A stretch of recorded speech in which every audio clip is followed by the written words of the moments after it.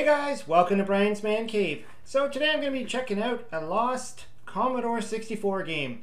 Um, this this game actually has a an interesting story behind it. I'm going to leave a link to uh, where I, I, read about this, and um, there's going to be the, a download link where you can actually download and play this game on your emulator, or if you have the C64 Mini.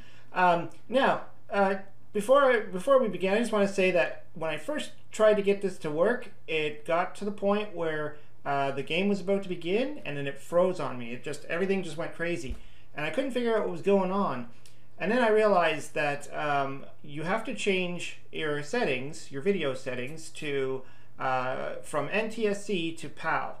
So if you're playing with the NTSC setting on your emulator, you'll have to change that to PAL, and then the game will work.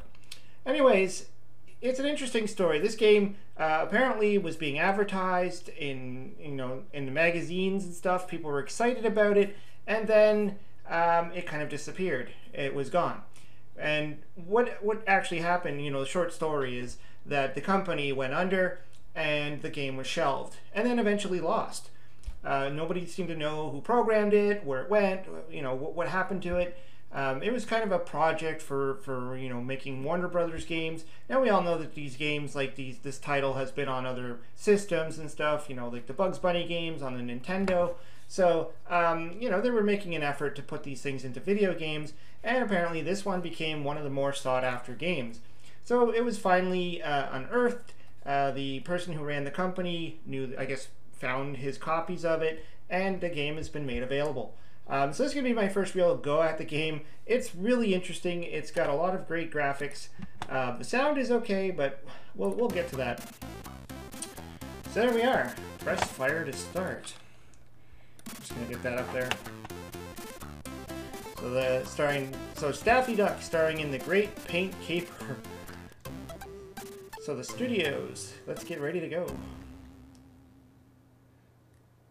So you got to that point and then it would just scramble here, so changing it to PAL was obviously the problem. So we're looking at Daffy Duck here. Um, I don't know what that is. I guess that, that's the uh, little marquee thingy for, for movies. Um, but yeah. And it took me a while to uh, get the controls down because I, I, didn't see any manual anywhere. Um, but I mean, it's Commodore 64. You got one button. As long as it doesn't rely on a lot of the keys uh, from the keyboard, you're good you just kind of got to figure out the combination of, you know, fire button, up, down, left, right, down and fire button, up and fire button. Um, and so I, I, I, figured out that there's a way to grab things. So you can just push the button, push down, and you grab. Um, looks like there's some food here. I mean, you can see, I mean, the graphics look pretty amazing. I mean, for for being on a Commodore 64, that, that graphic of Daffy Duck down there, even even the character looks looks really great. And the movement is pretty good too. The jumping is pretty good. Got a nice long jump there. Doesn't feel choppy or weird. Um, of course, you're pushing up to jump. Uh, this is pretty common with the uh, Commodore 64 games. Uh, obviously, there wasn't the two buttons, so... Um, I mean, they had to decide, do they want the fire button to jump, or did they want it to do some kind of action? And in this case, the action is to pick up um, and to get into the room. I was sitting there trying to get into the room. I'm like pushing up and everything, and I'm like, he's not going in. Like, do you not go into these rooms? Like, it's labeled one. Uh, there's a lot of doors, and so eventually, I think it was just a combination of pushing down, pushing the button down and up at the exact same time. So as you can see, there's Porky Pig. Um, I guess he doesn't hurt you. You can talk to him. Uh, hi there, Buster. How are... How are... Oh. Hi there, Buster. How are you?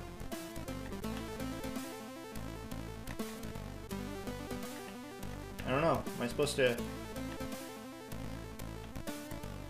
Have it have you any tips? Oh, I see. Okay, so you, you just decide what you want to ask him.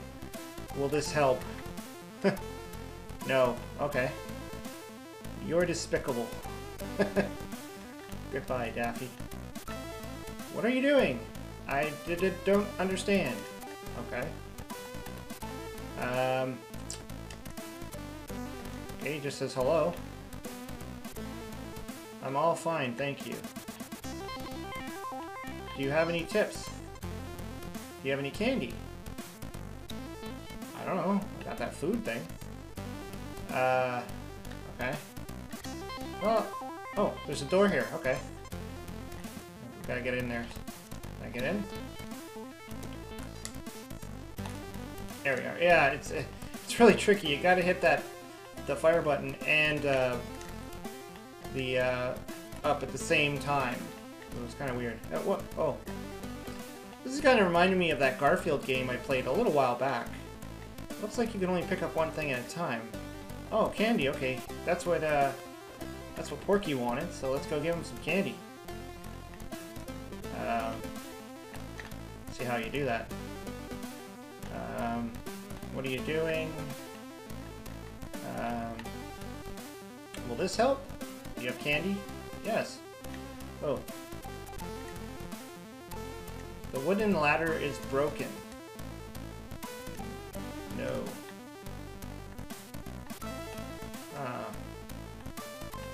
Do I get... Did I give him the candy?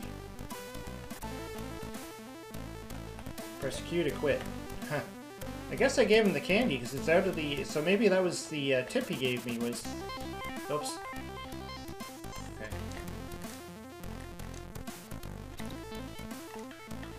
I don't know if I'm doing it right, or it just seems to be going in the door. I mean, the music gets pretty, pretty repetitive, but not too bad. I mean, it would have been better if it was actually like a Looney Tunes song.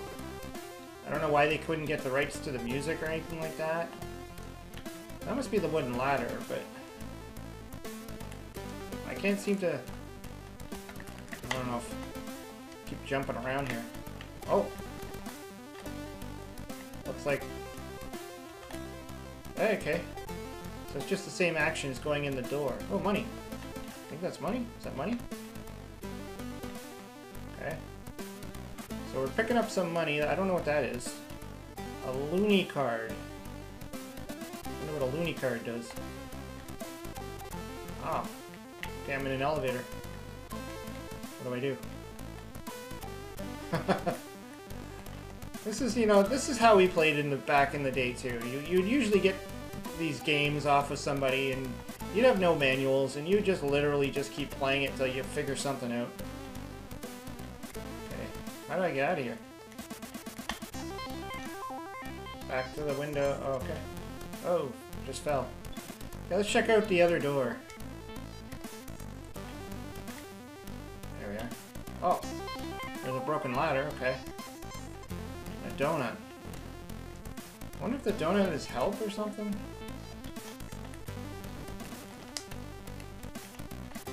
Maybe you have to find a broken ladder piece somewhere. Oh, game over. Oh, I guess I wasn't paying attention to my health.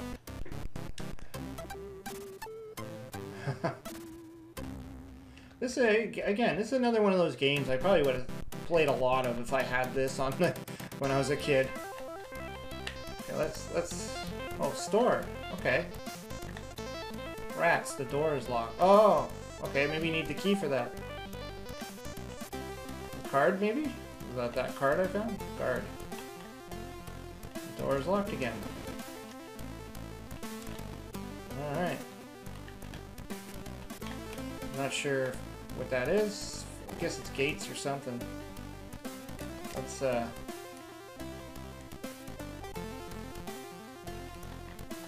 Where did I go? Oh yeah, I was right here. Okay, that's the broken ladder, so... I think I gotta go back up that other ladder.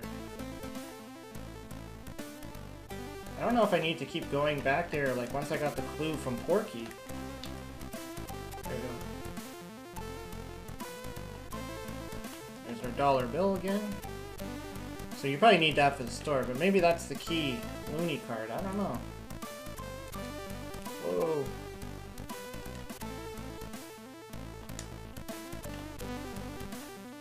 Store? Uh, I've opened the door. Alright. Oh! I was expecting to see kind of like a store or something, uh, a wooden plank. Maybe that fixes the ladder. So we got the food, so let's try the... Oh.